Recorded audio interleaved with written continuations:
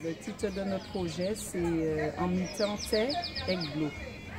Alors, le projet a pour but euh, de faire les enfants découvrir euh, l'univers du jardin, d'où les fleurs, les fruits tropicaux qu'ils ne connaissent pas.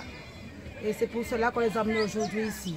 Dans cette journée de détente, ils vont pouvoir se balader, faire la passerelle, des jeux toboggans, et puis aussi euh, visiter, repérer et surtout dire aux parents ce qu'ils ont vu lors de notre découverte d'aujourd'hui.